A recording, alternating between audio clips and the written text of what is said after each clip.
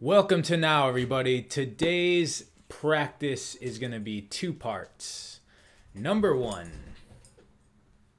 number one, we are going to find out what would happen if we got the news that we're dying in one hour. There's no way around it. What would you do?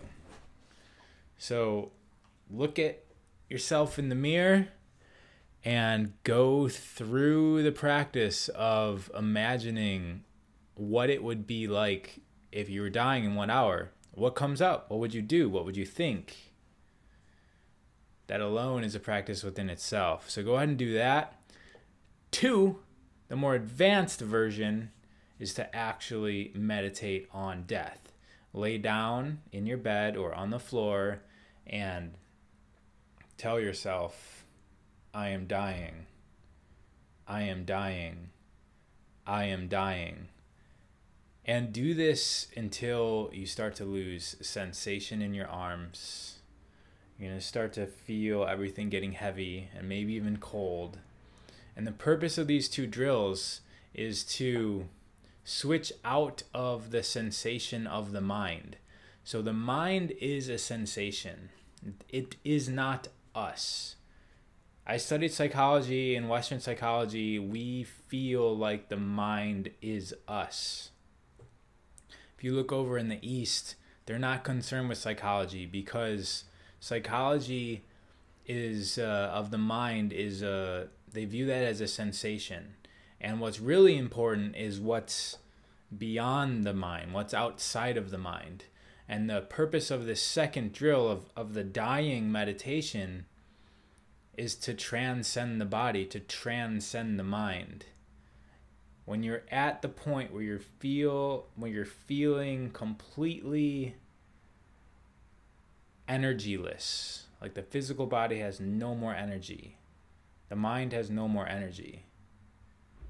Allow yourself to step outside of that construct that we we live in the majority of the time, that construct.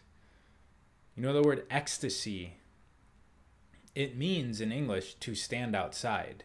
And what it's referring to is to stand outside of oneself, to be in ecstasy. So we're not meditating on death in a in a negative way. In fact, death is not negative at all. It's something that we're all in the process of doing. We are all dying. And in many cultures death is revered. The it's something to look forward to but not something to dwell on and have anxiety about. But it's something we're going towards.